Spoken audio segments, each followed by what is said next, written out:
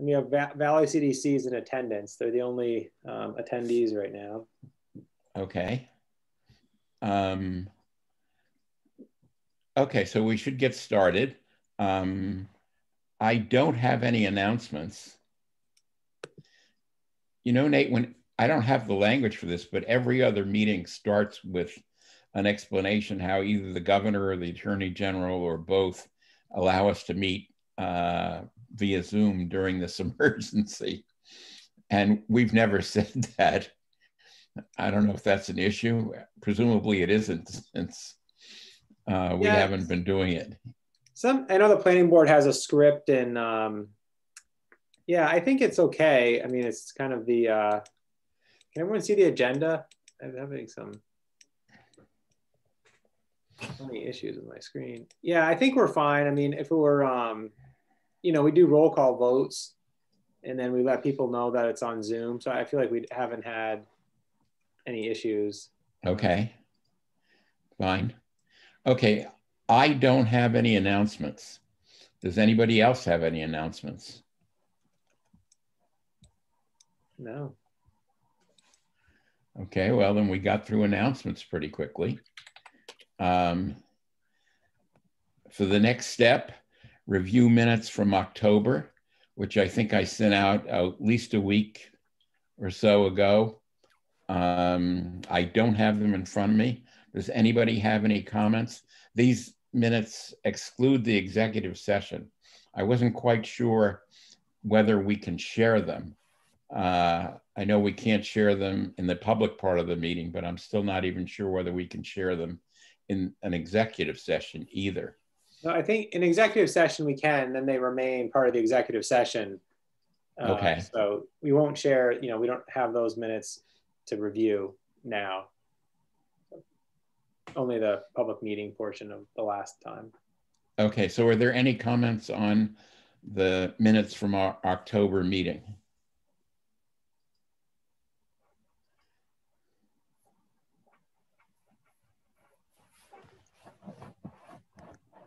That's good. We don't have any, John. Okay. Has Kevin Noonan joined us? Uh, there's no, not yet. Not yet. Want me to email him, or he knows about it, right? Well, yes, but it might be a reminder would be helpful. All right.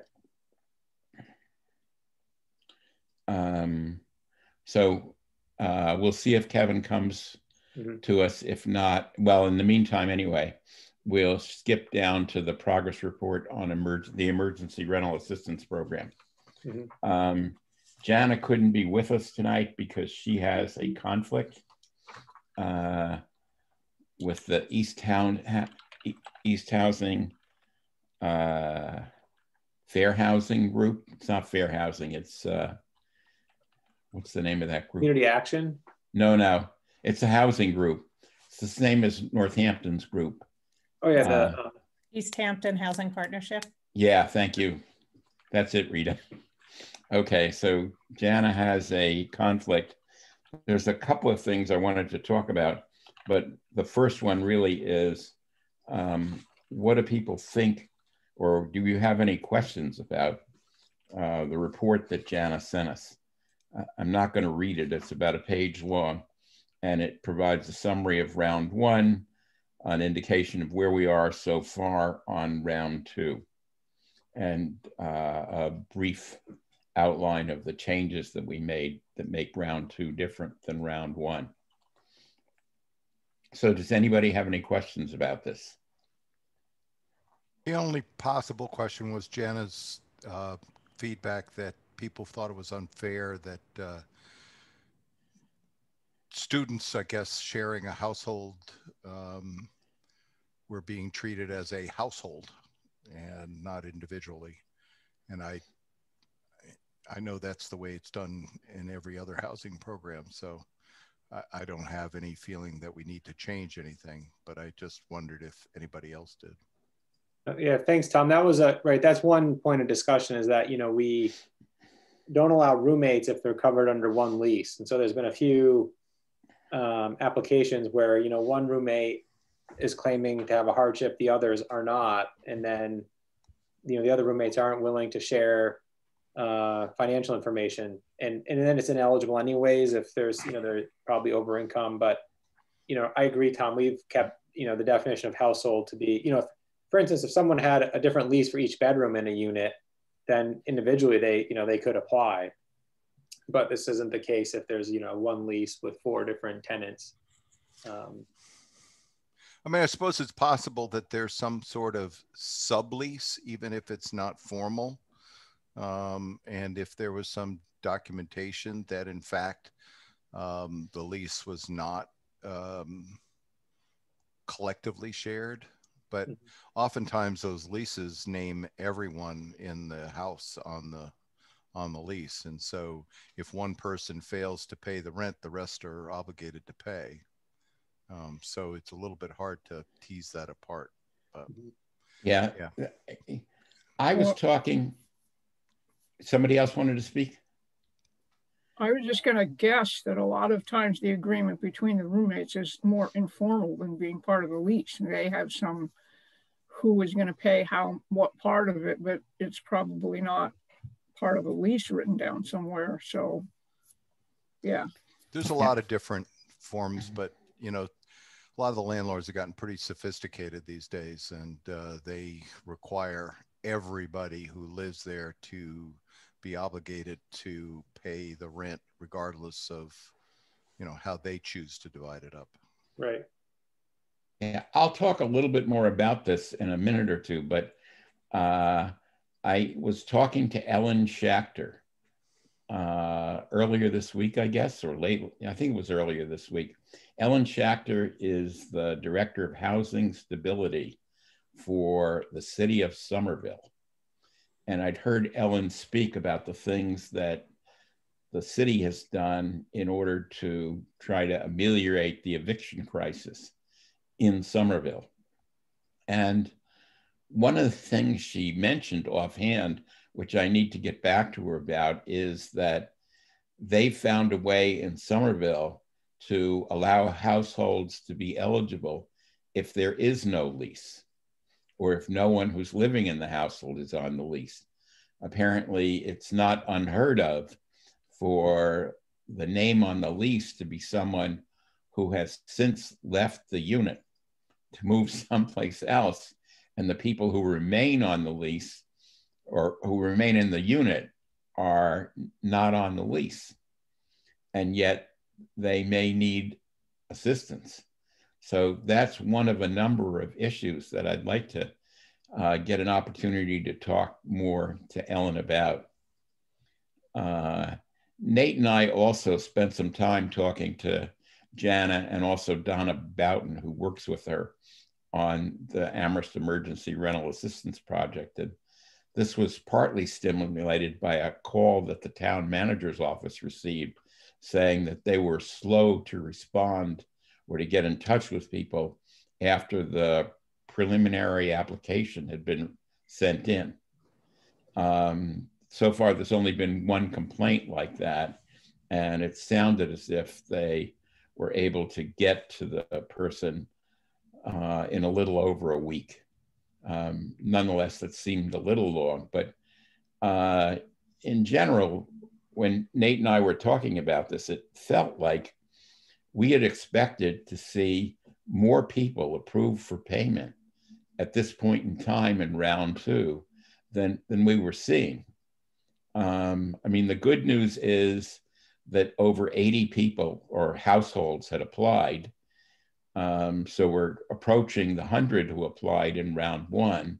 There may be a little bit of overlap there but the process of working with people to get through an application, a completed application, um, with whatever documentation is necessary, and then have them approved seems to be taking a long time. And, you know, as Nate and I talked to Jana and Donna, it appeared that every case, or maybe not every case, but it's not uncommon for cases to prevent present special circumstances that require additional thought or consideration um, that make it difficult to uh, process the case.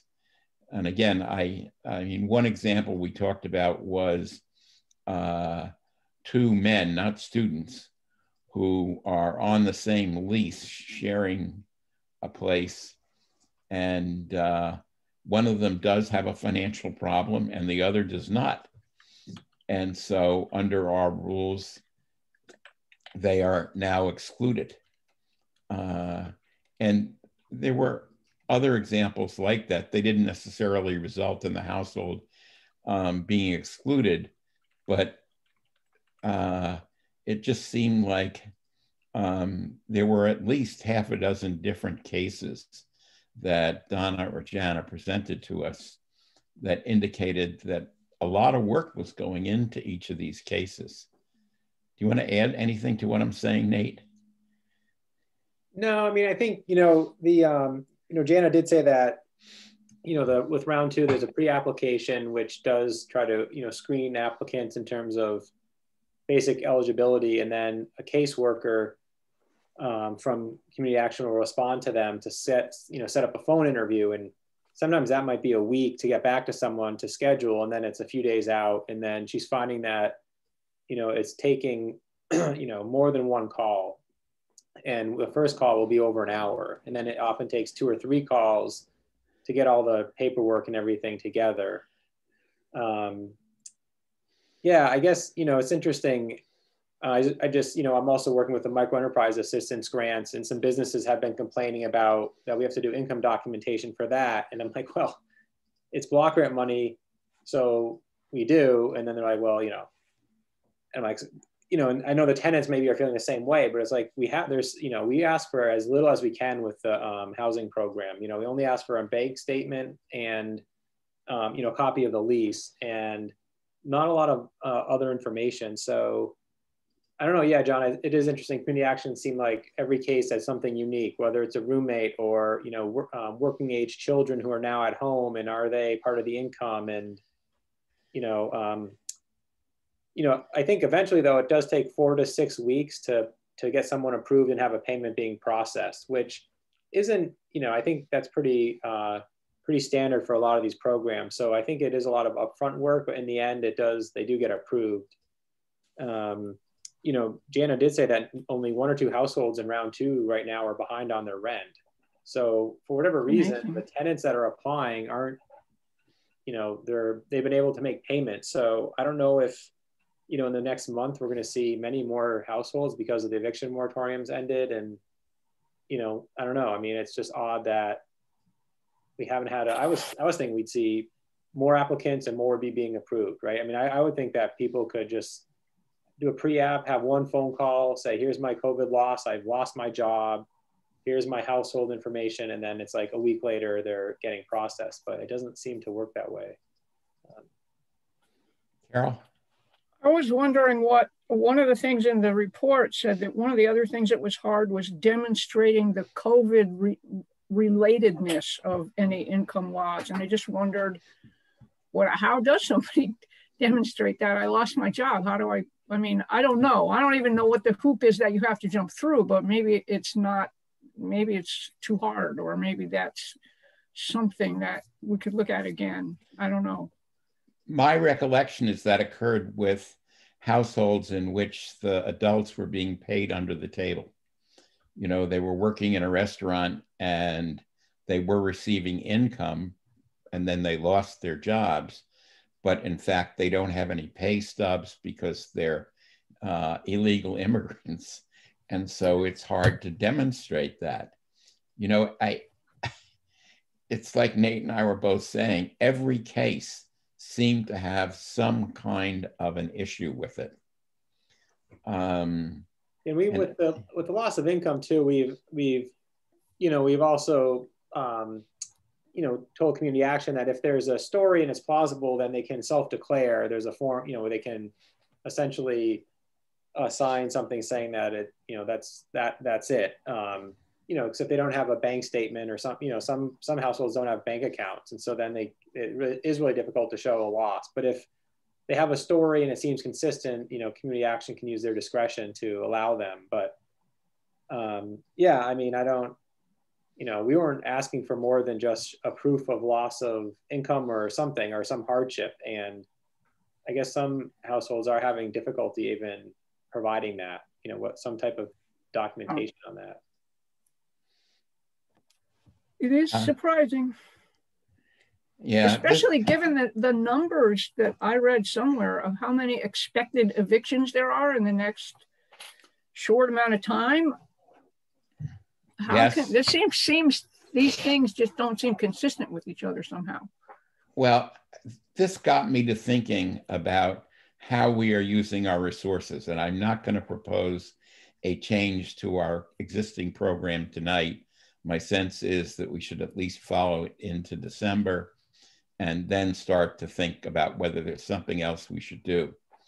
But I will say that the, uh, again, coming back to the city of Somerville, one of the things they've done is to focus on getting people into the raft program rather than into uh, their own rental assistance program. They have a separate rental assistance program which uses uh, money from the city of Somerville exclusively. There's no CPA or CARES money, so they're pretty flexible in how they can use it. We wouldn't have that option. But just to going back, the reason they prioritize raft, I believe, is that frankly, there's more money in it for the tenants. Um, raft now has a maximum payment that goes up to $10,000. I believe we're capped at a little over 3,000. Is that right, Nate or Rita? Yeah, like 3,300. 3,300. And so all I started to think about is if community action is going to do all this work, maybe it would be better if they were helping people get into the raft program than our rental assistance program. Uh, and again, I want to let the program run a little bit more, but uh, and I also want to understand better how Somerville manages all of this. I hope to set up a conference call with Jana and Donna and Nate and I, possibly Rita, to talk about how Somerville is doing things, the variety of things that they're doing to try to ameliorate the problem of evictions. And there are other things, not necessarily that things that the housing trust could do, but things that the town could do, which I also want to mention. I mean, I actually did send out an email to a lot of people, including, I believe, all of you, about things that the town could do based primarily on what Somerville is currently doing. And actually, Boston and Cambridge are both doing similar things as well. So, again, I don't regret that we started this emergency rental assistance program. At the time we started it, which we started thinking about it, I believe, last March, it made perfect sense.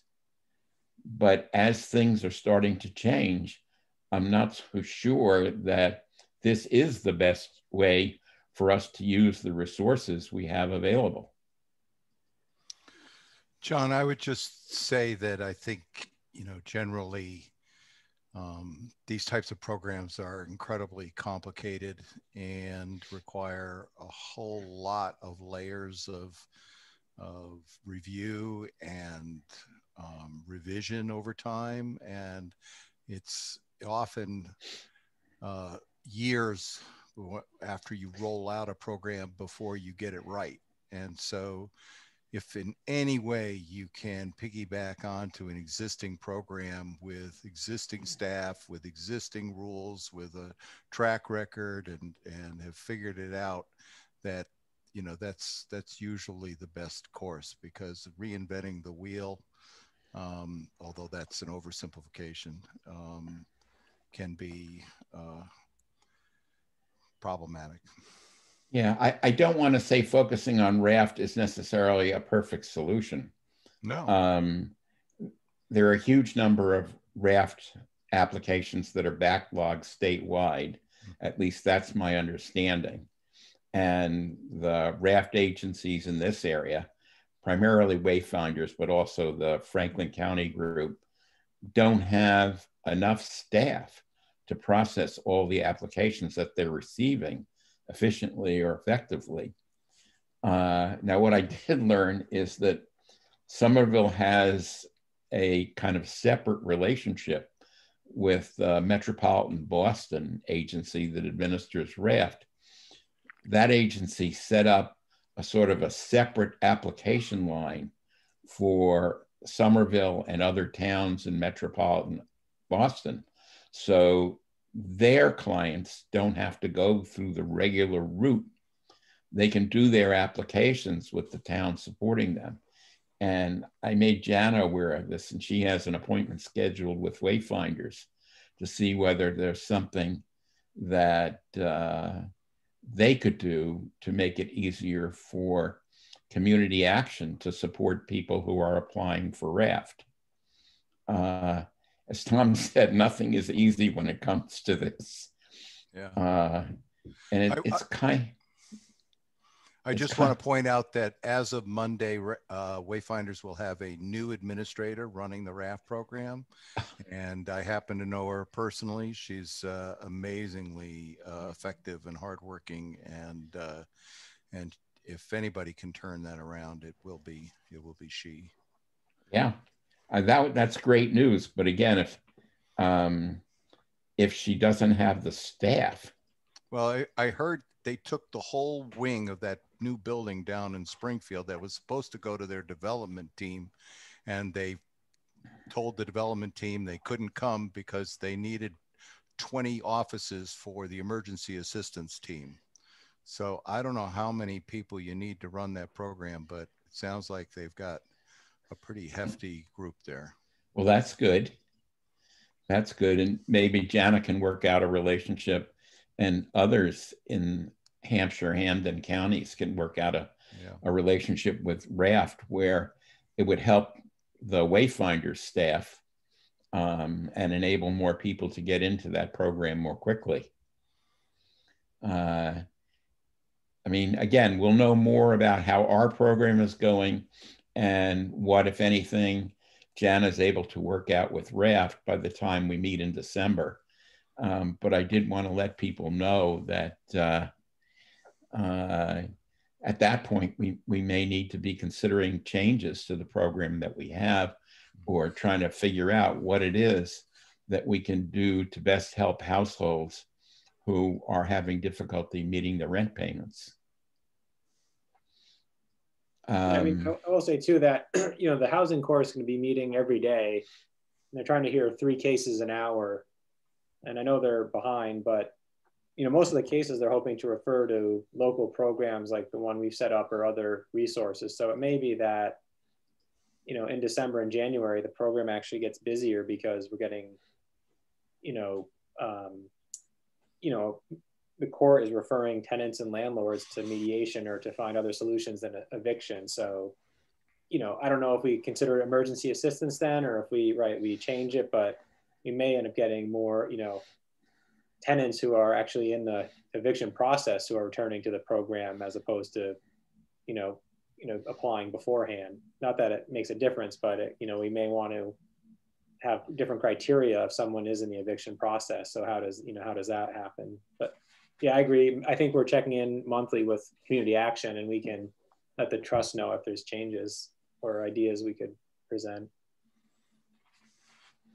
Yeah, I also mentioned that there are a few other things that maybe we should be recommending to town council.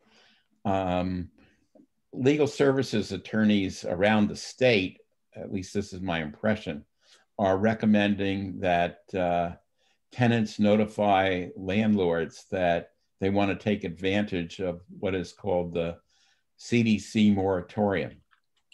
I don't know if people have heard about that the federal centers for disease control basically set up a program in which if people inform their landlords that they can't pay their rent and are at risk of being homeless uh, then they can't be evicted. They literally cannot be thrown out of their apartment. That's the good news. The bad news is that it sunsets as of right now on december 31st 2020 Nonetheless, again, legal services attorneys have been recommending that people do this as a way of trying to hold off to get a little bit more time for people to get into raft or to get into other programs uh, if they're in trouble with their rent. Um, also, as Nate said, the housing courts have a big backlog of cases. There was something like 900 uh, cases waiting in the wings, so to speak, for the state eviction moratorium to end. And it's going to take a while for those 900 cases to be processed in Western Massachusetts. And that doesn't include the new cases that will undoubtedly start to flow as well. So the housing courts can't move too quickly because they, they don't have the capacity either. Uh, so anything that, again, we can do um, ought to be helpful. Uh, the city Somerville has done a few other things that I will mention. Uh, one of the things they did is to ask Somerville landlords to sign the pledge. Uh, Francis, you may know more about the pledge than I do because I know Mass Housing Finance um, was working with landlords around the state to try to get them to sign the pledge. Basically, it's a pledge to work with tenants and not try to think of evicting them as the first line of what to do. Uh, the pledge has a few elements, which I'm not recalling off the top of my head. Can you recall what they are, Francis? Yes, and I'm going to share it. Can I, is there a chat I can share with? Because we have it online too, but basically it's the same as the uh, Boston, um, the city of Boston put out their own pledge. So it's basically a copy of that one, but statewide, but also includes an addition for mediation. Um, let me pull it up so I know exactly. Okay, well, Francis is doing that honestly the details are not what's important. What's important is that the town asks landlords, perhaps particularly the major landlords, to sign the pledge. Uh, and again, who knows whether they'll sign it. Uh, the city of Boston, the city of Cambridge, and I believe Mass Housing Finance has had a lot of success in getting landlords uh, in Massachusetts to sign the pledge. So maybe we could have uh, some success here, and that would also help to stave off some evictions. Again, that's not something the Housing Trust could do. It would really be something that town council would need to do. And yeah, I think what happened was most of the uh, uh, groups that were um, associated with mass housing. So, for instance, in Amherst, Beacon signed on to that. Right. And and the larger uh, property owners, uh, property managers, Trinity, Peabody, others. Uh, of course, we signed on. All the other nonprofits around the state signed on. It was spearheaded by the Massachusetts Association of CDCs, together with Mass Housing and DHCD, and uh, there was a press release just uh, today that went out. I guess you have that, Francis. I, I don't have the press release, but yes. Yeah, so Mass Housing, the the onus was to start with our largest um, uh, partners because they, of course, have the most units. But since then, uh, primarily CHAPA, so the Citizen Housing Planning and Advocacy Group, uh, have been in charge of sort of spreading it out. Uh, but basically, it promises, it asks um, the landlords and managers to abide by and support the current CDC eviction moratorium, engage with residents and create payment plans, uh, support and accept rental assistant payments, uh, promote rent adjustments for qualified households that either have Section 8 or uh, the mobile vouchers, and encourage mediation. Um, so, you know, I've been just encouraging people to share it with um, other folks. So it, it can be from city council, but I think it can also be if if anybody knows landlords that have a share of units, we can also share it, I think. I just uh, forwarded it to Nate if you want to send it out to everybody, Nate. Yeah, yeah, Yeah. thanks, Tom. Just gonna say it would be helpful if I could get a copy of that, Francis. Yes, and I'll, Nate, I'll share, um, Tom, did you share the Google Doc or the Word doc? This is an email I got from uh, Mass Housing's uh, press guy, Tom, Oh, Tom yes, Farmer. Tom Farmer. Okay, I'll, I'll share what I have too, just in case. Nate. Oh, great. Yeah, thanks.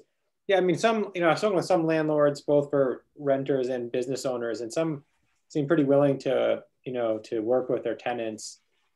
And some of the larger ones in town, I think, are are frustrated because, you know, not only is it, um, you know, tenants and know, there's also some students. I know some of them are feeling pressure because they've lost rent from, you know, different types of renters, and so, um, you know, it is interesting in Amherst with so many student rentals, you know, would we modify this? you know, like what, you know, what's the, you know, would a landlord, some of the larger ones in Amherst be, you know, wary of signing it because they may have student renters who have, you know, kind of abandoned their leases, whereas, you know, smaller renters may be fine because they actually want to help their tenants. I just, you know, is there a way to nuance it to fit, uh, to tailor it to Amherst if we need to? Um, but no, I think it's a good idea. We with the rental program, we have asked landlords to sign on actually saying that they would, you know, originally it was kind of almost similar to this, but now it's just to work with the agreement. Um, and Jana said that all but one landlord has been really willing to work with the rental assistance program. I guess one was hesitant for whatever reason to um, sign an agreement with the town. So Okay, moving on, I'll mention two other things quickly that Somerville has done. Um, they created a program called the Housing Stability Notification Act. And essentially, what it means is that when landlords send a notice to quit to a household, they also have to send them information about resources that can be used to try to prevent eviction uh, for pot- potential sources of funding that would enable them to pay their rent or pay the arrears. Um, and so landlords are actually required to do this in Somerville uh, when they send out a notice, of quit, notice to quit to households. Um, so that's something in principle the town could do. I do want to say that uh, when we start getting into things the town can do, we do have to recognize there are limitations on the number and availability of staff in town hall to implement something like this. Uh, Somerville has an entire office of housing stability uh, that's separate from other housing offices that they have. Uh, so they're a slightly larger uh, locality than Amherst is, and it's easier for them to do things like this. Nonetheless, they, they may be things that we want to consider. The last thing that I think would be more difficult to implement in Amherst is an eviction moratorium. The city of Somerville actually has an eviction moratorium that I believe came into place before the state's eviction moratorium and continues even though the state's eviction moratorium has ended. Uh, while I, on the one hand, I could say I would like to see town council adopt something like that. I mean, Somerville adopted that back in March or April after a lot of consideration. And so uh, I'm not sure that uh, it makes sense at this point to ask town council to adopt something like that, although it may. Uh, so there are a number of things that uh, uh, Somerville, Cambridge, and Boston have done, possibly other localities that Amherst could consider. Um, and uh, Pat, I'll resend the memo of things that, of these ideas that I did send to town council. Uh, actually, I think I resent it to both Lynn and Paul as well. Uh, but, you know, it just adds something else to a group that has a lot on its plate. as you suggested earlier before we were recording. yeah, but this is important too. So, yeah. Okay. Well, let me go on to the uh, agenda item that we skipped. I see Kevin Noonan is here. So, Nate, if you could add Kevin in, and that'll give us a chance to hear from him uh, about what's happening with the seasonal shelter or shelters in Amherst as Yeah, you're- of you're- November 1. Yeah, Kevin, you're a panelist now, so you can unmute yourself and start your video if you have that. Uh, okay. I think there it is. Hi, how are you? Thanks for joining us, Uh, Kevin. I, just had this Twilight Zone experience. I went to your email, John. I clicked on the link and I ended up in the CPA meeting. And I kept saying, where the hell is Oh, my? I don't know why. What's I do know thing? why because I I I went to the CPA meeting earlier today and I may have given you the wrong link. It's okay. They, they seem like nice people. I do know Sarah Marshall, but uh, nobody else have no idea what these people are talking about. It was all about money. so thank you for the invitation. So you had asked me to talk about Craig's Doors, the changes that have gone. on. Is that? Can you see me? Is it okay? Yes. Okay. Um, so the Baptist Church with COVID nineteen, the Baptist Church wasn't big enough, and we just didn't have the space. So we uh, shopped around and uh, you know talk about Twilight Zone experiences. I was negotiating with the Immanuel Lutheran, and in the middle of it, the pastor asked me to meet with the uh, with the uh, executive committee, and he never sent the link. And I kept texting him, asking him. The poor man died at the age of forty eight or 47. I don't know. It was just like, wow, this can't get any worse. But finally, the Unitarian uh, Society of Amherst did come forward and, and say that unanimously the board voted to do it. And it's a beautiful room. If any of you have ever been in it, it's where we have the community breakfast every Wednesday. And, uh, but we can only fit about 14 beds in there. Uh, we were hoping for 16, but there just isn't enough space there either with the six foot separation. And then we were able to rent the uh, uh, University Lodge, the University Motor Lodge, I think it was formerly called, and uh, uh, owned by Kurt Shumway and the Hampshire Hospitality Group. And that's up on at 345 North Pleasant Street, right sort of where North Pleasant Triangle and East Pleasant all converge at that rotary. And that's going pretty well. I got a text from Kurt the other day saying, How's it going? And uh, seems quiet from my perspective. And we said, Yeah, it looks like a busy hotel, that's all, uh, or motel. Uh, people are, you know, we've had people tell me that, they haven't slept in a bed in five years or are just so honored to be in there. Uh, one guy uh, had been had been homeless about a year. He's out raking.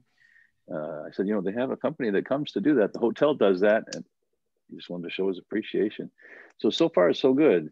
So there was it, it, the the motel was also useful because um, the health department wanted us to have a negative COVID nineteen test result before we let people into the congregate site but they did uh, make a concession on the uh, motel. So because if someone were positive, where would you send them? I mean, back out to the streets, or can you get them to Everett? To this, uh, I don't know if you saw the article today in the paper that the only uh, quarantine site is in Everett. It's about 100 miles away, um, probably not far from Somerville. Um, anyway, so uh, we um, have an assistant climbing up here with me, so she'll probably get into the picture pretty soon. Um, anyway, we um, there you go. We uh, what was I talking about? I'm totally distracted by this cat. Uh, we are grateful that we have this motel, and so far so good. Uh, we we are prioritizing women and elderly in the motel, and uh, or those with special needs, and uh, you know someone some mental health problems or something like that. Um, and then everybody else is down at the uh, at the at the uh, Unitarian Meeting House.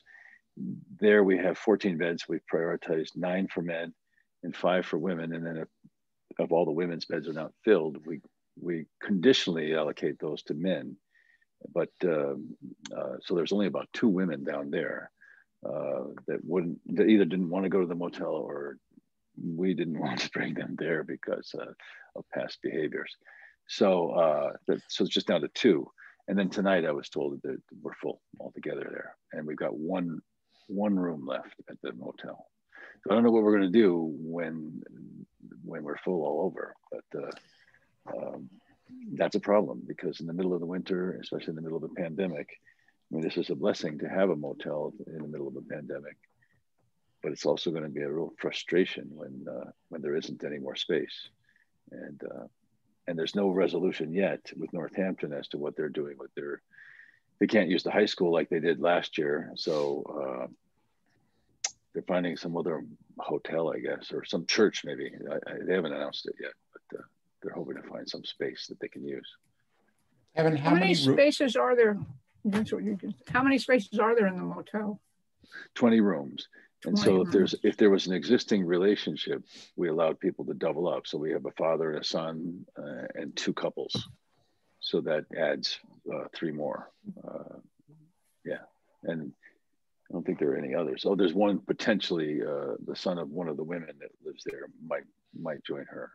So that would be 24 then total but we, we don't want to create really we don't want people to say oh yeah yeah we're, we're, we're a couple you know, no we're not doing that because we we would be then unsure of what we're creating and who's behind that door and what what's going on there you know uh, so yeah and john you had a question uh, no carol asked my question oh, there you um, go so do you also use the motel then as if someone tests positive and they're in the uu social hall to move? No, they can't get into the UU without a negative test result. Oh, okay. The health director. So uh, that's solid. You can't do that. Um, but the they will agree to let us put people in the motel if they've just had a test because they're individual rooms and you know they can shut the door and have their own bathroom and uh, so uh, but if anybody tests positive in either site they're we would contact MEMA through the command center, the Massachusetts Emergency Management Agency, and they would be offered a, a ride to Everett, to this motel in Everett. And uh, they would remain there for, I think it's 10 or 14. I think it's 10. I think quarantine is 14, but 10 is for uh, whatever, until they produce a negative test result. Um, they would stay there. And also, if someone needs quarantining once we're full, um, they can also go to Everett provided they've had a test.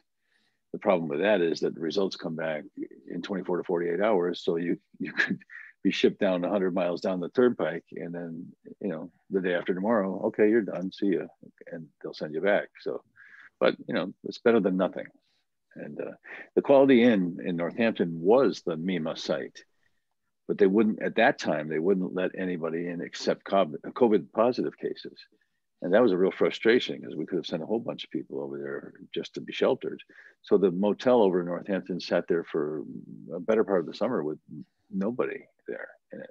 So MEMA decided to close the one there and then close the one in Pittsfield, and Lexington I think was the other one.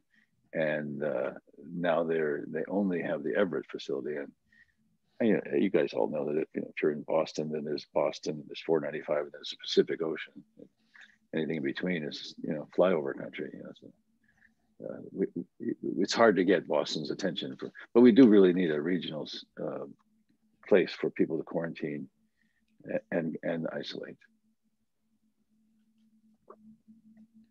A year ago, you had some space at Hampshire College, I believe. I guess that's right. changed. It's not possible now that the college. Well, yeah, you're right. It, it, they were not open when it, they sent everybody home, and so uh, the town manager is a, an alum, and the president is, uh, you know, was doing what he can to cooperate with the town, and uh, it wasn't needed because we tested everybody on April 29th, and there were no no staff, no no no guests, and that thank thank God there, there was no one who tested positive. So we of course immediately asked, "Can we have that site anyway?" And the answer was no. no. And uh, then we asked for Wildwood School, and the answer was no. But uh, and now all of those they're they're not in the play right now because Wildwood's resuming, I believe, and and uh, and Hampshire's resumed already. So, now, whether there's going to be any wiggle room over the period of time uh, when they leave, because I think most schools are cutting short or curtailing their their semesters so that people leave uh, you know, around Thanksgiving and don't come back till February, that'd be great. But I, I don't know that there's any plan to do that. Lincoln Apartments also uh, on Lincoln Avenue, I think are being used by UMass for quarantine and isolation, but they're not extending that to anyone from the people from the community that we serve. It's only uh, people from the UMass student body and faculty, I believe. I don't even know if that's faculty. May, may you may know that. I don't know. Do you know? No, I don't. Um, Kevin, I do have a question. Are you at capacity sure. right now between the two sites? We're at capacity at the UU tonight for the first time since November 1st. And we have one room left at the motel, which will probably get filled tomorrow. So that's going to be a problem as we move forward because there's nothing, anywhere else to put them? You know? Right.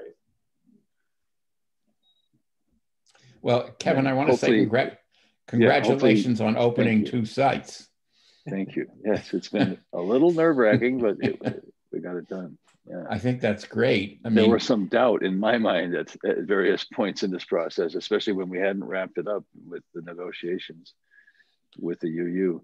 They had a beautiful congregational conversation, or whatever you want to call it, and uh, like 99% of the people who were there were speaking in favor of it, and uh, it was very, very moving. I've also been a member there for 29 years, but uh, um, you know, in this case, I was the petitioner. And so, right. but people who are associated with the UU and the community breakfast really value it and wanted to expand the role. So we really appreciate their stepping up. That's great. Do you have staffing issues with having to maintain two sites? Yeah, any of you guys want to work the overnight shift? We, are looking for overnight people. Uh, yeah, we're, we're, we're, we're ramping up. Um, it just, you know, takes a while to get it done because we're a seasonal shelter or have been up till now um, we are uh, we have to rehire new people each, each, each season.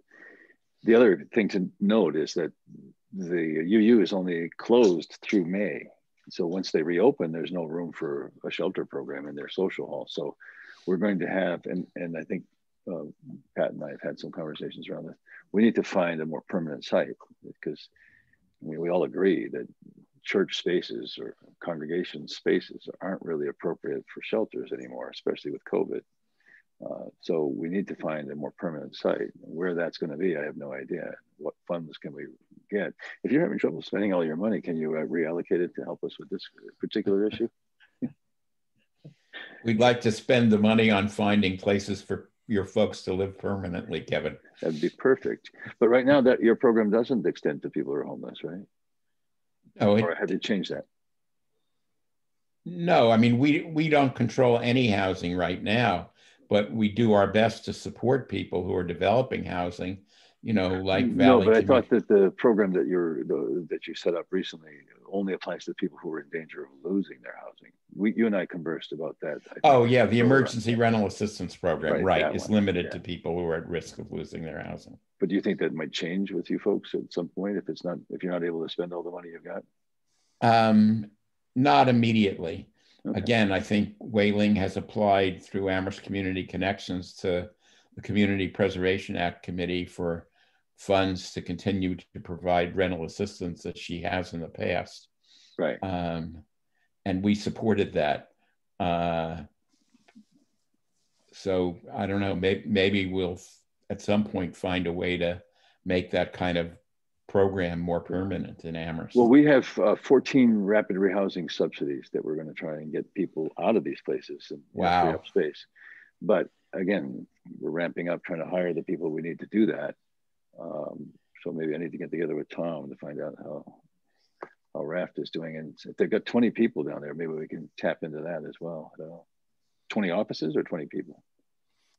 I had heard 20 uh, new staff but uh, I had just met with their new executive director about a month ago, and and he was talking. He was taking me on a tour of his new facility that he inherited when he came in, and uh, yeah, that's beautiful. He space. pointed to all these offices that were supposedly originally going to be used to house his development team, and uh, he said, of course, they can't move in there now because we need it all for our emergency right. assistance folks. So Hey, I've got a question, Kevin. Yes, sir. Number one, um, I know you were kind of joking, but um, you know, I for one would be willing to uh, volunteer for a night. Um, I don't know That'd how often, but uh, I think if we could get the word out uh, that you need that, um, yeah, it's it's something. Yeah. I, I, I don't know how often I could do it, but um, you know, Well, if they we do require all of us.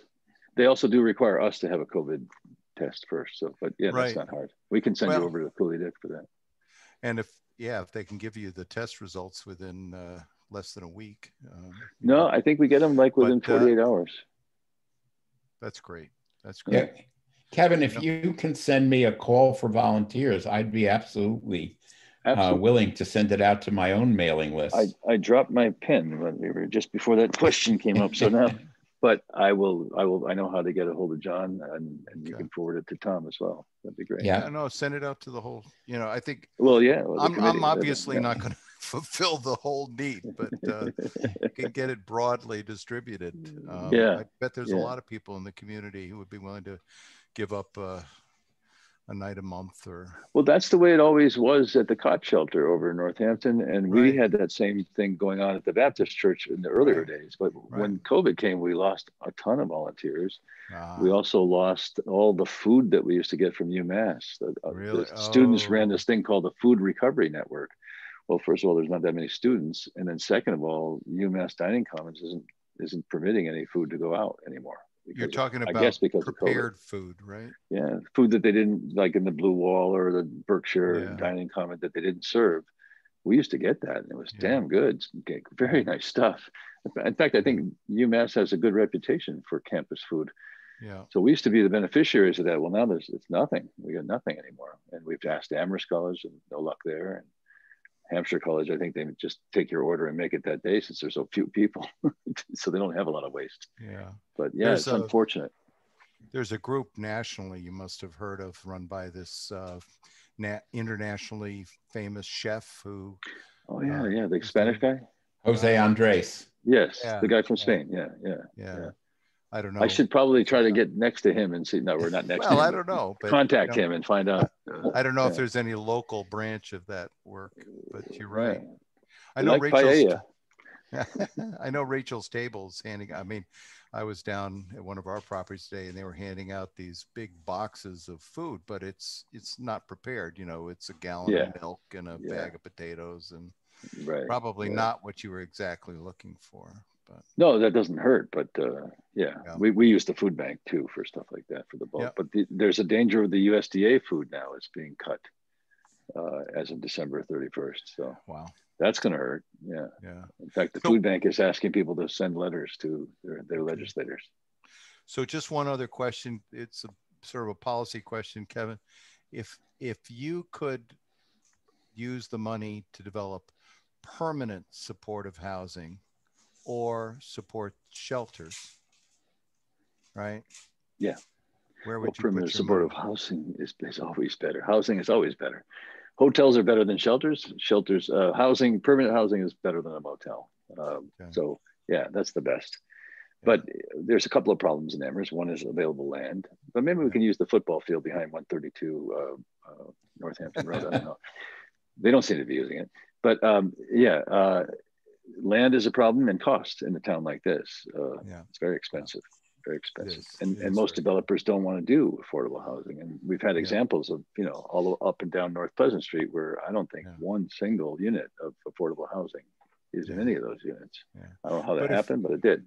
But if you added up all the visits to the emergency rooms and all the other Sure. social Sure. costs associated with taking care of the homeless, I think you'd find that it's cost effective Yeah, absolutely. supportive housing. Yeah. Absolutely. It's far better.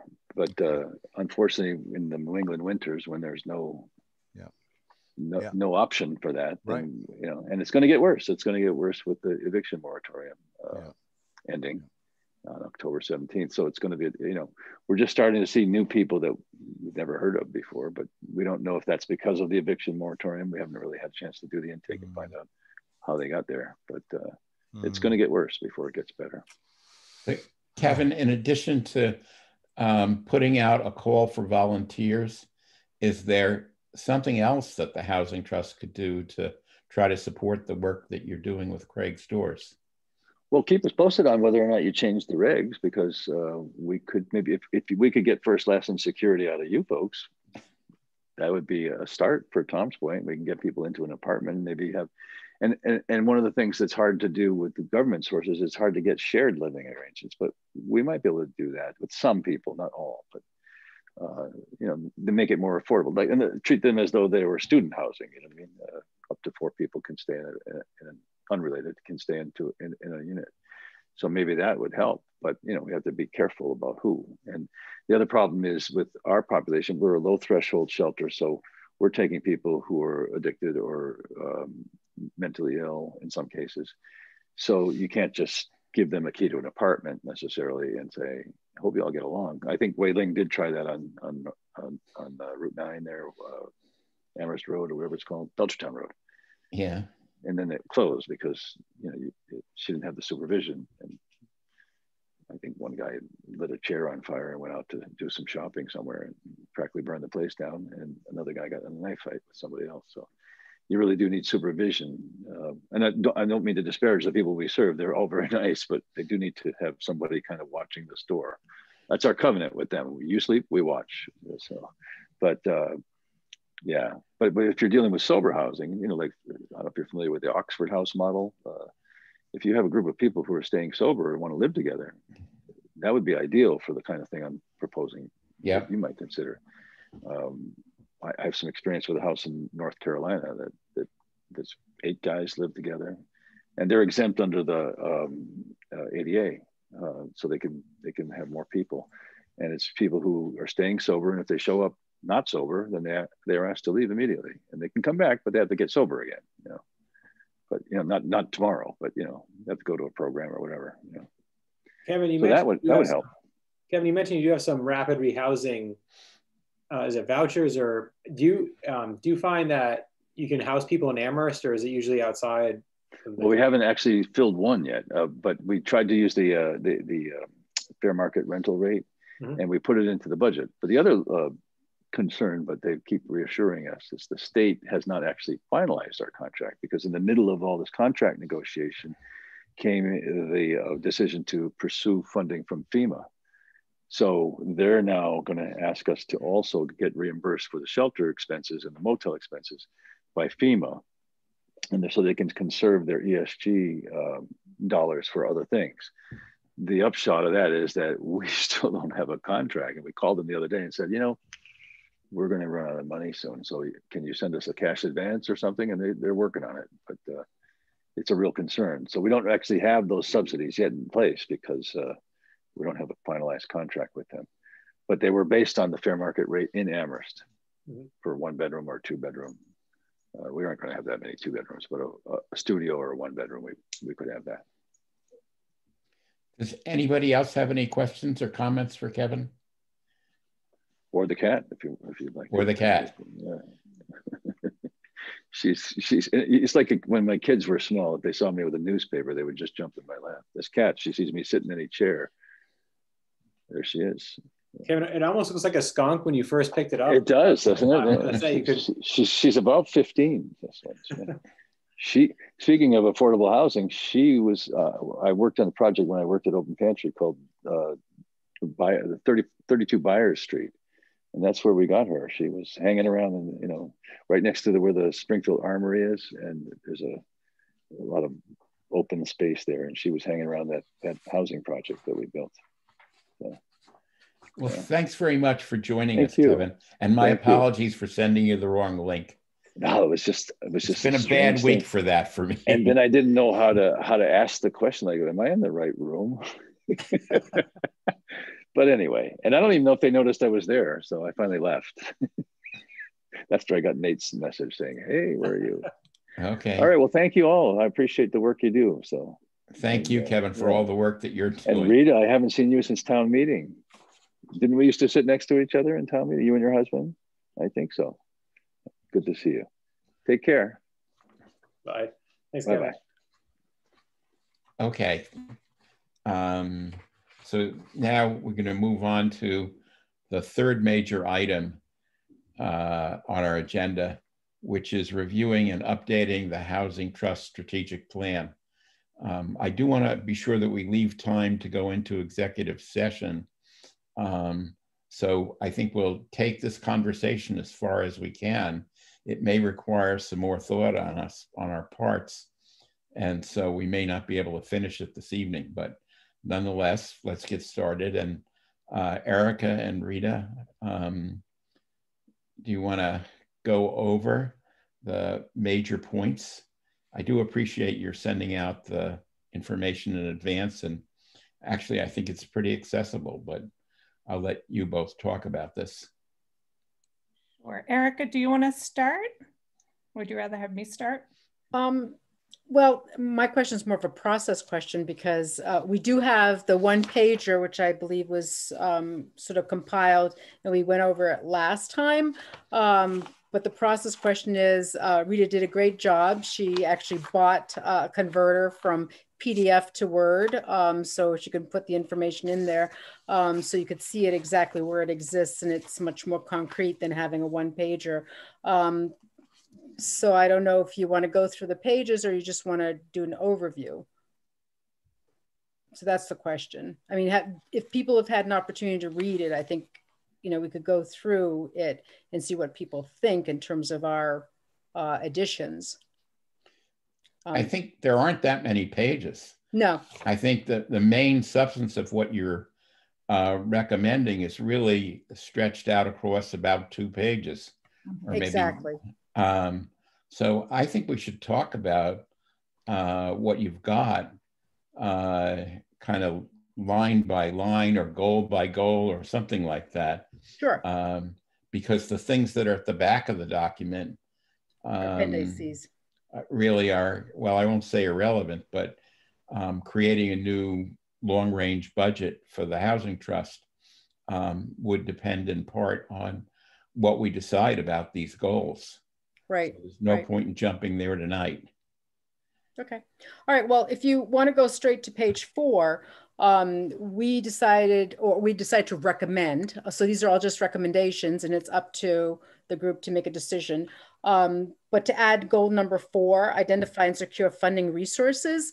And I think um, I can just tell you from my point of view in reading this, um, and also looking, uh, actually looked at Cambridge, where they actually had quote unquote an endowment um, and you know obviously we're in a different place than cambridge and harvard was the one that provided the endowment. We also have amherst college. I know hampshire is, is financially in a bind but looking at how to create enough funding where we have our own independence and we can you know think about how to utilize that funding. So um, goal number seven we thought was important to add and to think about that. What are the different ways that we can actually create a larger fund and not be so dependent on this, the cpc or or other um, more restrictive funding.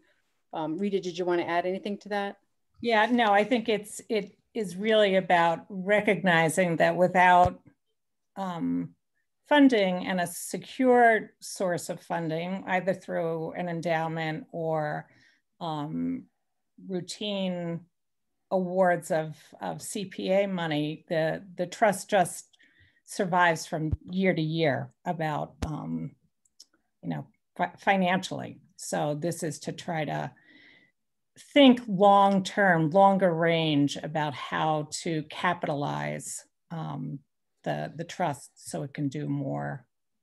Rita, Erica, have you sent me that quickly? I, am having trouble finding. I don't know if could you then I could share it uh, on Zoom if you want. Yes, I can't find it either. I thought I had it, but it's just the clean PDF. I think Nate, you sent it to us. Plan. That would be great because I can't find it either. So, you, do you want me to send the, the the the the current one or the you know the marked? It has the additions to it, uh, and the I think ones that they're yeah, yeah, the one they're talking about. Right. right. Nate, you sent it out um, because I had to find it too. Um, so I, I believe it was in your email, Nate. But I, you know, I thought you had made changes. I'm not, I can't find the some the what you redlined. Yeah. yeah, there was a redlined version. Yeah. That, yep. Let me see if I can find it. Um, okay, I'm just I'm Nate. operating off of a laptop. I'd have to switch computers. Nate, I sent you something earlier today which were my detailed plan for the meeting. Yeah. And that included a page or slightly over a page, maybe two pages that summarized uh, this material. Um, it was a red line version, John. Remember, you had asked me to do a red line version of the, and so. Yeah, I, I mean, it's, you know, I have what I have, and because I pulled out um, what you did. And uh, let me see if I can find it. Yeah, we, you know, I, uh, it's interesting. Yeah, I had emailed Jen and I never heard um, back from her. So I just did a conversion on the PDF Yeah. To a Word document and then I did a red line version. I mean, I can go, I just have to. No, no, that's fine. I think, you know, I think Jen uses like InDesign or something. And so, Yeah, it was, it was easy enough to do. Okay. I got it into a Word document and then I did, uh, you know, I edited within the Word document. Right. I, I don't have I, I just found it. I found it. It's an email from John from Friday, November 6th. And it has, it's the trust action plan with edits. Right. And that has the red lined. Okay. You want to send it to Nate and he can send it out? Yes. That's fine. I looked through my, I, yeah, I'm not finding it in my email. I don't, I'm not either. I can't. What I notice is if I go into my email, I'm going to have to get out of Zoom.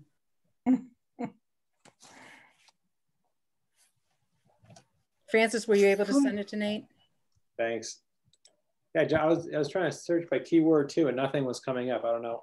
Um, Um, it was one of four attachments that I sent Yep. uh, a week or so ago to everybody. On November 6th, did you say? Yeah. Something like that. I, I, I. There were a lot of emails from you, John. Well, there's a lot going on, Erica. What can I say? And and let me tell you, every email I appreciate. But I actually did want to piggyback on the fact that goal number seven, if we don't have an independent, to some extent, uh, endowment, we have to depend on someone as dynamic as John to go in front of the CPAC and to constantly advocate for money. And so Yeah. if we lose a leader like John, you know that that's the other piece. So is to try to create enough of stability for us that you know if we go through a transition where we either don't have a you know the the CPAC that is very Sure, generous for others, um, you know we'll have lean years. Well, I appreciate that, Erica, and it's not that I disagree. I think adding that goal is a great idea. On the other hand, I think I see it as something we need to do in addition to uh, relying on Community Preservation Act money. I mean, right now we're probably getting something in the neighborhood of half a million dollars a year in CPA money um, between, uh, and I don't mean the trust is, I mean money that they're spending on community housing. Right. Um, our strategic planning consultant, Jen Goldson, said that we should try to negotiate an agreement with CPAC in which they give us the authority to determine all community housing spending under a fixed budget. But even if we had that authority, and even if it was as much as a half a million dollars a year, honestly, that wouldn't be sufficient for the goals that at least I personally would like to see. It would be about 50%. So we need, as you say, to be have additional sources of funding um, that go beyond what we can get from Community Preservation Act funds. I absolutely agree with that. Um, where we get that, how we go about it, is not something that uh, I have any immediate ideas about, though. So one of the things that is in uh, the strategic plan that I saw is is that there's a uh, proposal of an annual, all of us getting together and really thinking through uh, and strategizing. So it's something to consider. This this is just our recommendation in adding this to the strategic plan, but it also there's a existing recommendation that yearly that we come together and really think about those goals and you know have they changed? Um, do we need to do more strategizing regarding the speci- specificity of the goals? So just as a reminder. Okay so next um, before you turn to that page actually at the bottom of page four one of the other areas that we thought was important was right there um, was to update um, because there there's a lot in the strategic plan that has been addressed. And so to give um, you know our, ourselves that credit uh, in updating um, those areas. Um, I think it would be worth you know considering uh, making those updates. So go ahead, you can go to the next page. Let me just stop for a minute, Erica, and just ask if anybody disagrees with the idea that we should make it a priority to uh, identify other sources of funding. Yeah, I think I was on a I was on a call or a workshop and people I forget what which one, but people were talking about you know how you know how to get money, but then people were talking about right land donation or other other possibilities for resources, and I just think that you know John, you do a lot of outreach with other communities, but it would be good if we had if we did meet periodically to discuss that and had other ideas because you know, just as we are witnessing with the CPA now, you know, if we were making a big request, but then the CPA also is becoming more competitive, we can't, we may not be able to rely on that as a funding source uh, when it's needed. Um, you know, it's, it's hard to bankroll a lot of money. You know, even if we had local banks that were willing to lend, I mean, at some point, you know, the trust can incur debt or other things. So, you know, is there, you know, are there programs that we could use or, you know ways to leverage things if we needed to um, outside of traditional bonding by the town. You know, those are things that we haven't explored as a trust yet. But yeah, well, we can certainly consult with Shelly Goehring of MHP. Um, she would be familiar with what other uh, town trusts, housing trusts have done around the state. Um, I'm not sure I've had that conversation with her, but if I haven't, um, I'm certainly willing to do that now. Yep.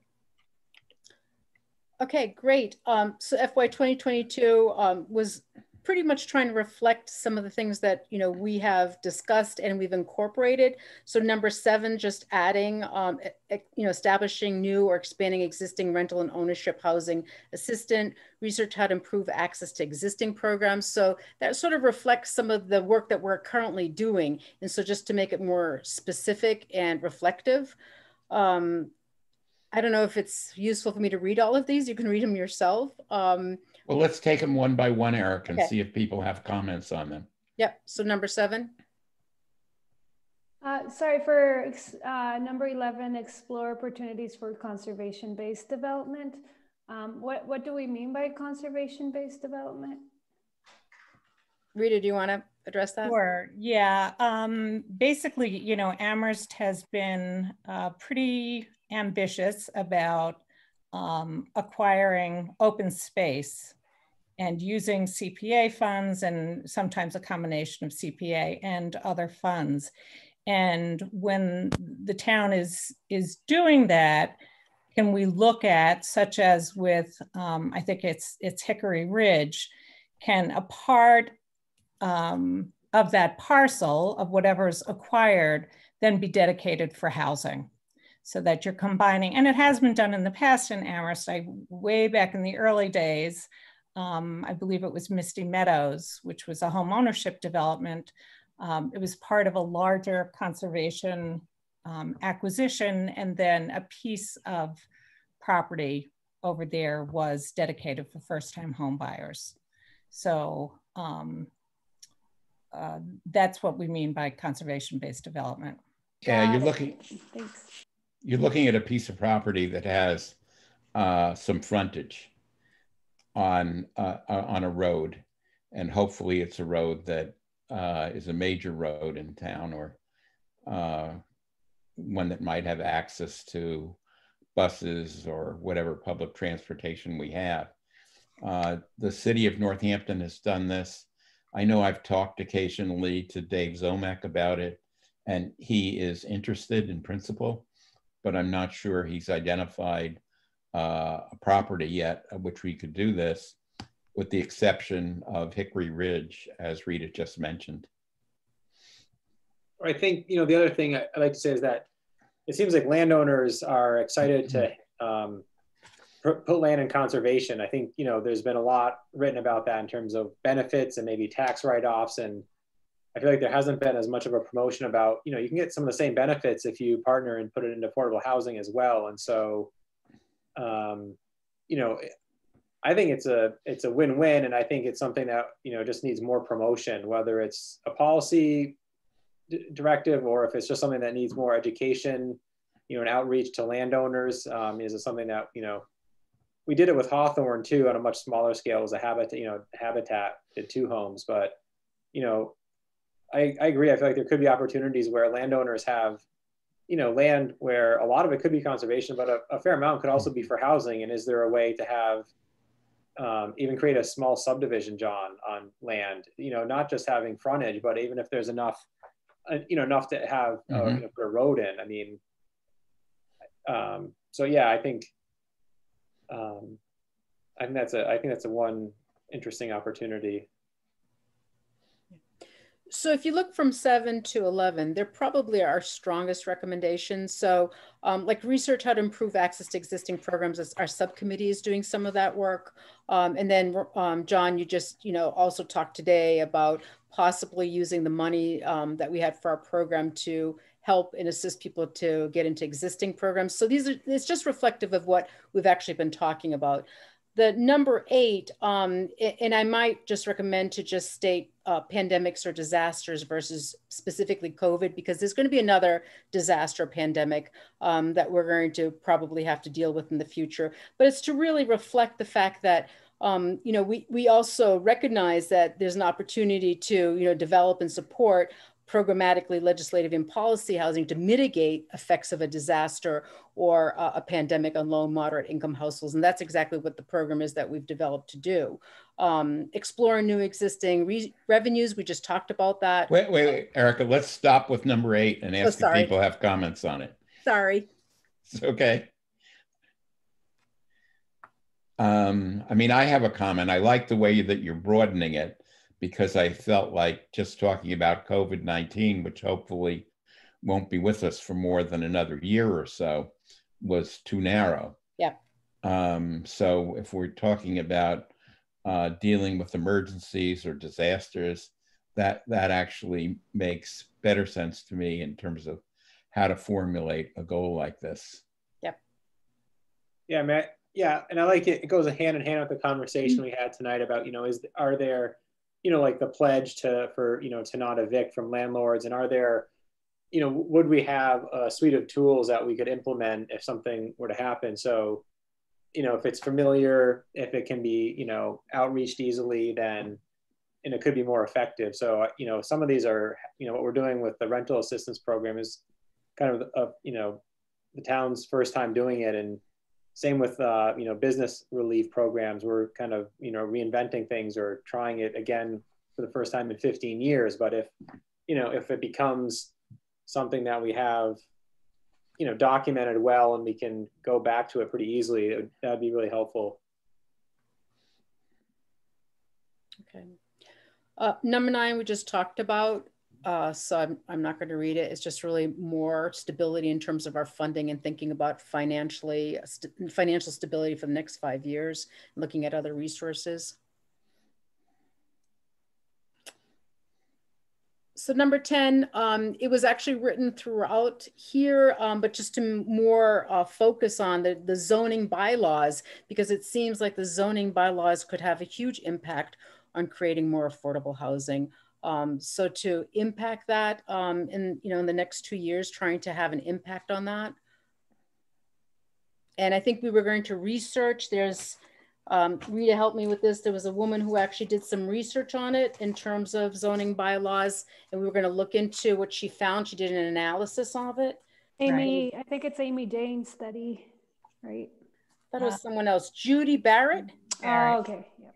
So Judy Barrett had done some work for the town and um, I think you know what what Erica and I talked about with this one is, as Erica pointed out, the zoning um, has a big impact on the production of affordable units in town, and there is inclusionary zoning, but it hasn't seemed to, you know, because of um, the way it's it's written, a lot of new development has not had any affordable units included. And so it's something that the trust, you know, shouldn't be taking on itself. Obviously, it's within the purview of um, the planning board, but to work cooperatively, and maybe Rob has some ideas, uh, but to revisit this with town staff and the planning board about what the what the trust's interests are. I would I would wonder if, if people who have more experience, Pat or Carol or John, Nate, I remember all the struggles we went through trying to get zoning changes through the town meeting. Does anybody think it's going to be easier with town council? Oh, uh, a, a lot easier. No, I think the um, Well, it can't get harder, but you know. the um, yeah, you know, I It think- could, Tom. At one of the previous trust meetings, you know, I think I I had said I would work with Rob to write a letter to the planning uh, board about different zoning measures, and I'm it's still on my my list. And I agree. I think zoning is a really powerful tool. It's it's not just inclusionary zoning. It's also you know how the town defines apartments right now and how it's permitted makes it really limited or different multifamily types of development of where and how it can be developed. So you know, and there's other ones too. So I, I think it could be you know, I mean, it's interesting. I, I not that the trust wouldn't write the zoning, but I think the trust would have to be a big proponent of it to Mhm. encourage the planning board to investigate it. So, you know, with this whole 40R, for instance, it's been, you know, a year and a half or two years with 40R. Granted, it was extended because of COVID, but you know, just recently the planning board, after the last presentation, now some planning board members are saying, I think 40R might actually be worthwhile to pursue, but it, it took a year and a half uh, to get there. And so I think, you know, for the next few years, it may be um, that the trust can help outline, you know, priorities in terms of zoning changes. So, you know, I, uh, staff had done that a few years ago, and I think it, we could revisit it and strengthen it. So I I do think that is really important. You know, um, some of it is, if, you know, if there's a citizen petition, for instance, to change inclusionary zoning, you know, what does the trust, you know, the planning board might say, what does the trust think about that? And if we've already outlined a position, then we're Mhm. ready to go. You know, even if we have some ideas about how we think inclusionary zoning could work better, I just, you know, once it gets into the petition or something happens, it's like, you know, we're almost retroactive trying to work with it, but it'd be great if we, right, got something out there first and Yeah, what I would say is that, um, you know, for some folks, it'd be a fairly sharp learning curve. And, you know, perhaps if there was a, not the entire trust, but if there was a subcommittee, you know, a few people, um, trust members who are willing to work on this and perhaps have some of your time. And I know Rob is, um, has a lot of expertise, so maybe he's willing to to step up, but to kind of shape some um, policy suggestions about how the zoning might um, be friendlier Right. for multifamily production. Also happy to help with that. I've um, I've done my, my fair share of looking at different zoning and how it helps or does not help um, Yep. creation of housing. I also think that there's there's a little bit of an impetus now with Cambridge finally being able to pass the affordable housing overlay district um, that basically covers the entire city. I know that Somerville's starting to do it now too because Cambridge is doing it. Um, so I also think that there's potential possibility, and it of course takes a lot of time to change zoning. But once you change it, um, it's it it takes a long time. But I think the change can happen there. Um, I remember it was enormously frustrating watching that process with the planning board going to the town meeting and getting shot down because they didn't have the supermajority and it just uh, people felt like it was you know almost you know not worth the effort to try to get any uh, changes to the zoning but if there's really is um, uh, perception that there'll be an easier path now um, I think it'd be great. 40B is not enforceable here, right? You can't override the ZBA. So if there was a real concerted, intentional plan to uh, make affordable housing um, as of right, uh, that would be awesome. just to come back to 40R for a minute, it was Rita and I, with the support of the Housing Trust, that wrote the grant proposal with assistance from Nate to Mass Housing Finance to get support for consultants to come in and work with the town on 40R. As Nate suggested, it has not been an easy process. And part of the reason it hasn't been an easy process is to be honest, it's not clear who's on first. Um, it's not clear to me that the planning board remains in charge of our zoning bylaws. Uh, I believe at some point the town council said, oh, we want the Community Resources Committee to do the work on developing zoning bylaws, not the planning board. Now, Pat, you can correct me if I'm wrong, but to me at the moment, there's a, some confusion about who's in charge or who's really tasked with the development of changes to the zoning bylaws at this there's, point in time. There's a lot of confusion right now. We have a um, retreat on Saturday, and one of the um, agenda items is um, council committees versus committees, council committee versus the planning board and the zoning board, um, and who who should be doing that work. Um, and so right now, and I was going to bring up CRC, which is called Community Resource Committee. Um, and I feel like it interfered also with the affordable housing um, proposals, mm -hmm. uh, for affordable housing plans that you had generated. Um, and so, come, you know, if you wanted to participate in that meeting, it's a public, it's an open meeting. Um, that might be very helpful to talk about some of the kind of um, chaos that's been created by a council committee taking the responsibility from the committee that was is really charged with the work. So. Well, since I've already butted heads with some of the people who are responsible for that, I'm not sure I wanted to participate, but I appreciate the invitation, well, Pat anything that you can send me uh, around what you're thinking, John, would be helpful, and I could use it on Saturday when we're having this conversation. Okay, thank you. Okay, so paying attention uh, to time, page 21, um, it's an update. First paragraph is just to really update. Um, we saw that, you know, the um, just to update it to ensure that it's clear that there was a merger that took place with the trust and that now operates with a nine board. It was just sort of clarification. So it's just on top of page 21, just on top, right there where the green is.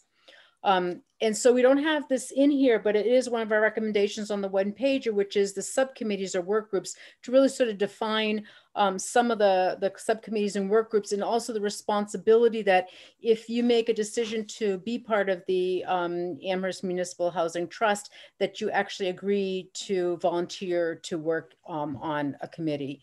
Um, so that's sort of solidified. Um, so when you start off, you can read it right there what your commitment is as a member um, to participate in that and to maybe even um, identify some committees that you know we might want to have as standing committees.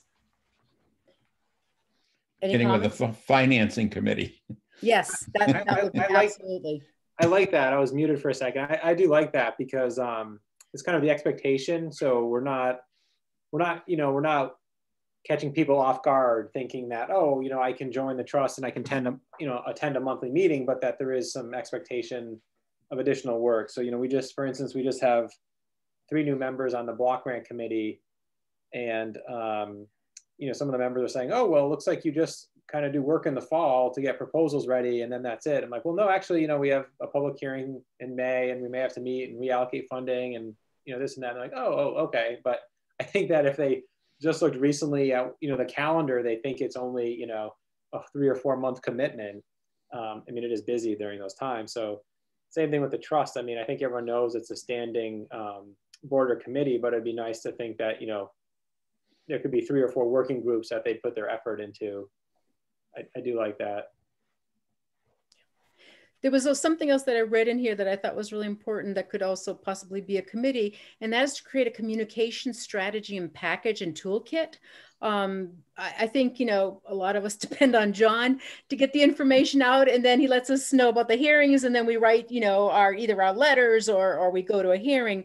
But to actually have a strategy to keep uh, affordable housing on the radar constantly and toolkits and possible, you know, quick messages that can be sent out or press releases or editorials. So, you know, that could be, you know, a committee as well, uh, just to constantly keep it on the radar for Amherst residents, how important this is. Okay, so the last one um, is the next page, and this is just to update um, the five-year budget. Um, so that was sort of our last recommendation um, for updating the strategic plan. And I, I, agree, it'd be interesting to look at how we've actually spent money over the last five years uh, or three or four years, whatever it is that we could look at. Uh, because this was Jen Goldson's idea mm-hmm. about what we should strive for. And quite honestly, I don't think that the uh, Housing Trust, as it was assembled then, ever really looked carefully into this. I mean, Tom, you were around then. Obviously, Nate was around. I don't know if anybody else was but I, I don't think we really tried to pick apart what Janet proposed. We just said, okay, looks good, let's leave it in the plan. Rita, did I miss anything? No, I don't think so. That's that covers it. Well, I do want to move on to talking about uh, property acquisition, for which we need to move into executive session. I appreciate the work that Erica, you and Rita have done on this. Um, so do you I, want to vote on it, John, or is what's what will happen with the proposed revisions now? Well, um, or do you want to do that at the next meeting? I think we should do it at the next meeting. Um, there's uh, again, uh, I think it was number eight, which we talked about broadening, not to make it so narrow that it just okay. reflects on COVID. Um, and now that we've had a little bit of discussion, people may be in a better position to vote on it if we bring it back to the next meeting. Right. So that's what I would feel comfortable doing at this point. And you know, just let you know, trust members know you can also email comments to me, and then I can you know shepherd them through to Rita and Erica. So, you know, if you have any other comments on this, um, you can always send me an email and then we can look at it again one more time. Okay, so thanks again for your work on this. I think that what you propose are not really dramatic changes, but things we've been kind of moving in this direction, but it makes sense to try to codify it uh, as part of our public strategy for letting people know what the Housing Trust is, is wanting to do. So thank you. Okay, so now we need to move into executive session. Um, we have two attendees. Well, I think who... I, sent a link out to a, another. So I think like last time, John, um, the trust voted uh, in public. Oh, to that's right. Go into executive session, and then we closed this meeting, and then I started the next meeting. And I'm going to leave and not participate in the executive session. So okay. And Pat, I'll add you to the trust uh, group email just to make sure. I'm not sure I have yet, but thank you very much. Thank you. Yeah, I've been sending things to you because I sent it to everybody on town council. Yeah, I just I, yeah, I want to make sure I'm, I'm going to do yeah. It. Okay, so I move that we end our regular meeting at this point in time, which is about 35 minutes after eight and move into executive session for the purpose of talking about the acquisition of property for affordable housing. And as I think I said last time, uh, we're doing this because uh, the information that we're talking about is confidential and it would affect the town's negotiating position or the trust negotiating position with respect to the seller of the property that we have in mind. So it's necessary that we end the public part of the meeting now. Uh, is there a second? I second it. Uh, so I guess we need to do a roll call vote. Uh, so I vote yes. Tom? Yes, and I'm going to recuse myself. Right. Thank you. Carol? Yes. Uh, Erica? Yes. Rob? Yes. Francis? Yes. And I think I've got everybody who's here. Did I leave anybody out? No. Okay. you know, we don't have any more attendees now. Yeah, I think though the um, We should do it anyway. yeah, the concern is that someone could join and then, it, you know, Okay. So everybody, uh, Nate did send out an email maybe an hour or two hours before we're meeting now. So we need to switch to that Zoom link. all right, thanks everyone. You know, I Thank need to- you. I need to stop the recording and just do a few things. All right.